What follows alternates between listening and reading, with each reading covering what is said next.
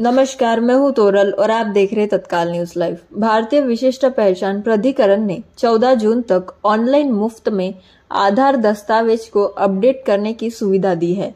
एक आधिकारिक बयान में यह जानकारी दी गई है। इससे पहले लोगों को आधार पोर्टल पर अपने दस्तावेजों को अपडेट करने के लिए पच्चीस रूपए का भुगतान करना पड़ता था। आधिकारिक बयान के मुताबिक, भारतीय विशिष्ट पहचान प्राधिकरण ने निवासियों को अपने आधार दस्तावेजों को मुफ़्त में ऑनलाइन अपडेट करने की अनुमति देने का फैसला किया है। इस कदम से लाखों लोगों का फ़ायदा होगा। मुफ़्त सेवा अगले तीन महीनों के लिए, यानी 15 मार्च से 14 जून 2023 तक उपलब्ध है।